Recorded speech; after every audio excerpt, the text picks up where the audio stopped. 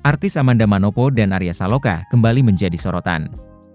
Ini terjadi setelah keduanya memposting foto yang sama dengan tulisan yang menggelitik.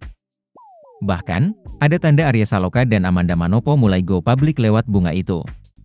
Sebenarnya, isu hubungan asmara antara Arya Saloka dan Amanda Manopo sudah berembus lama.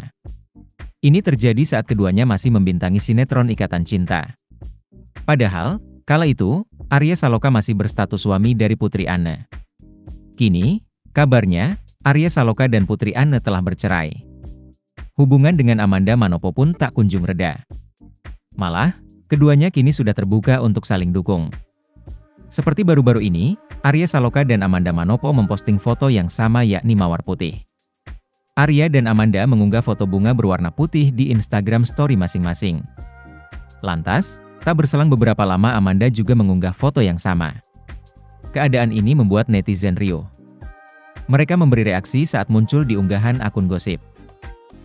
Apalagi, beberapa waktu lalu diduga Amanda terciduk menemani Arya menghadiri acara award di Korea Selatan. Sosok yang diduga Amanda itu terlihat duduk di bangku penonton dengan topi menutupi wajahnya namun fotonya beredar luas di media sosial.